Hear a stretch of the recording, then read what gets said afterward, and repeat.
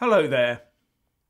A recent poll shows that support for the Nigel Farage Brexit Party will collapse if the next Tory Prime Minister delivers Brexit on the 31st of October.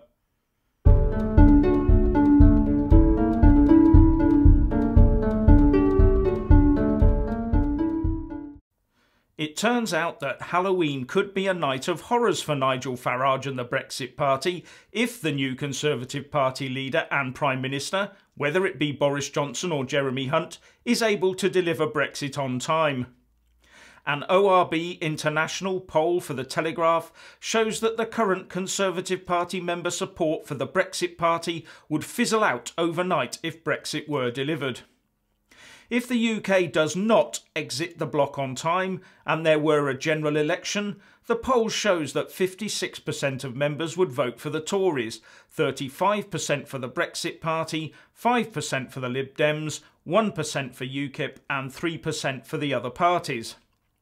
But if the UK does leave on time, then 92% will vote for the Tories, just 5% will vote for the Brexit Party, and 3% for the Lib Dems and although this is just a sample from the Tory membership, one can quite easily imagine this being reflected amongst the wider Tory voting public, who might feel job done and return back to their familiar stomping ground.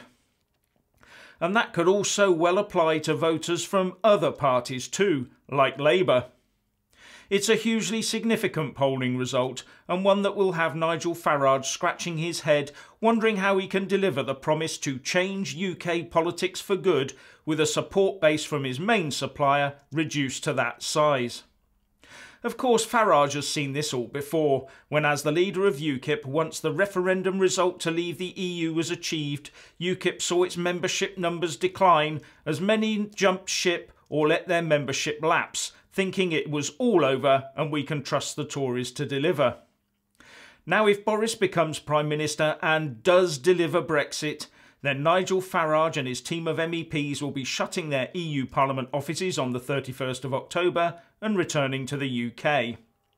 This will mean that Nigel Farage will have lost his main call on the media, and how many of those MEPs and those on the MP candidate list he is trying to put together would stay with him as they potentially see the Brexit Party poll ratings slide. He would also probably have to look at renaming and rebranding the party, as well as identifying a new political niche and unique selling points.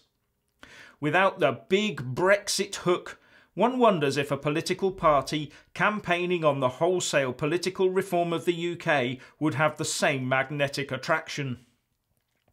Unless, of course, he and his team are committed to their cause, even if Brexit is delivered, and starting right now can come up with a whole raft of policies across the board that will set them apart from the rest and be attractive to a large number of voters.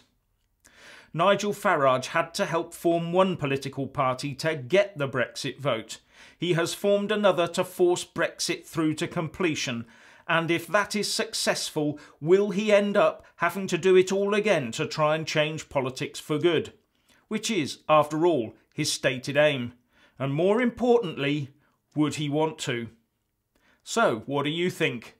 Please share and comment and thank you for watching please do like and share this video.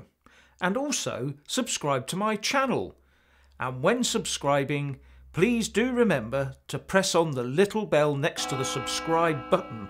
That way you'll get an alert every single time I put up a new video.